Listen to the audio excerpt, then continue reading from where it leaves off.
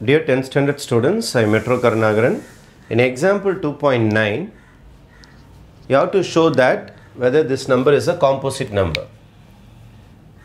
இந்த நம்பருக்கு x name வச்சுக்கிறேன். Let x is equal to 7 into 5 into 3 into 2 plus 3 இதில் ஏதாவது காமன் எடுக்க முடியுதா பார்ப்போம் இங்கே த்ரீ டேபிள்ஸ் காமனாக இருக்குது. அதனால் த்ரீ டேபிள்ஸ் வெளியில் எடுத்துடுறேன். இப்போ மீந்ததுன்னு பார்த்தீங்கன்னா seven into five into two தான் மீறும் இந்த இடம் ஒன்று தான் மீறும் ஏன்னா த்ரீ டேபிள்ஸ் இங்கேருந்து வெளில வந்துடுச்சு அப்போ three times seven five sir thirty five thirty five into two is seventy plus one இப்போ த்ரீ இன்ட்டு செவன்ட்டி ஒன் அப்போது given number x can be expressed as factors of two prime ரெண்டு prime நம்பருடைய ஃபேக்டர்ஸாக ஒரு செம்ம பிரிச்சுட்டாலே it is called a composite number அப்போது இதுக்கு நம்ம ஜஸ்டிஃபிகேஷன் கொடுக்கணும்.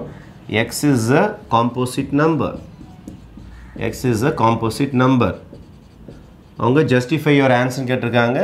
அதுக்கான ஜஸ்டிஃபிகேஷன் அதோட ஜஸ்டிஃபிகேஷன் என்னென்னா since the given number since the given number can be can be expressed expressed as expressed since the given number can be expressed as factors of two primes factors of two primes ரெண்டு ப்ரைமாக உங்களால் பிரிக்க முடிஞ்சதுனால since the given number can be expressed as factors of uh, two prime ரெண்டு ப்ரைமோடைய ஃபேக்டர்ஸாக அதை பிரிக்க முடிஞ்சதுனால comma it is a composite number it is a composite number